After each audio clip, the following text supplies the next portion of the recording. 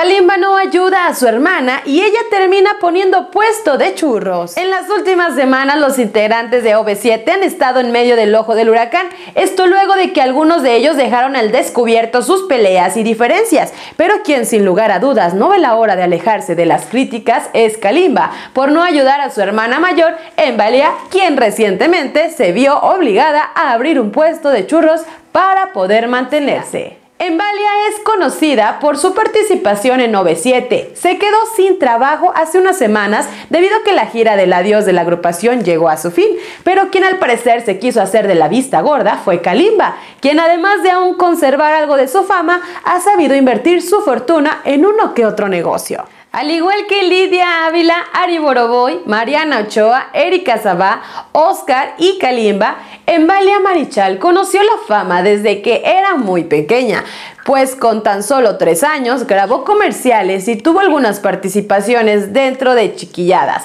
para finalmente en 1989 integrarse a la Onda Vaselina, que después de algunos años y disputas terminaría llamándose OV7. Tras algunas peleas entre los miembros de OV7 por ver cuál de ellos tendría mayor protagonismo, la agrupación decidió separarse, pero como obviamente sus carreras en solitario no funcionaron, no les quedó más que volver a reunirse en el 2010 para dar algunos conciertos al lado de Cava y posteriormente unirse a la gira de los 90s Pop Tour, en donde también terminaron peleando con su compañero Ari Boroboy. Así que para no seguir agarrados del chongo durante el 2022, los miembros de OV7 anunciaron su adiós definitivo de los escenarios y como pretexto tomaron su 30 aniversario y el pasado 14 de diciembre en la Arena Ciudad de México ofrecieron su última presentación. Una de las integrantes que más sufrió con la separación fue Embalia, quien hasta hace poco no tenía idea de los negocios.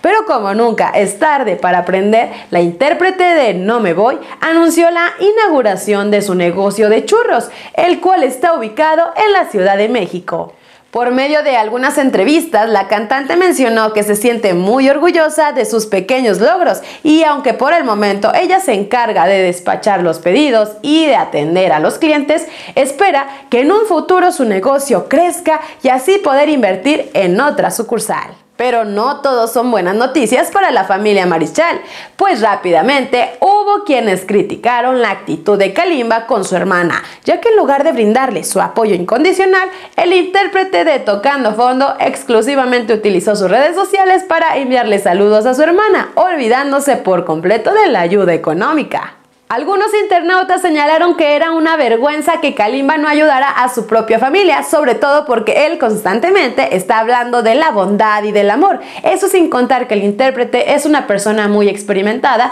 en cuanto al mundo de los negocios, porque actualmente es dueño de algunos restaurantes y tiene su propia marca de ropa. Por su parte, Embalia prefirió no hablar sobre la mala relación que actualmente tiene con Kalimba, por lo que únicamente mencionó que hoy en día está decidida a seguir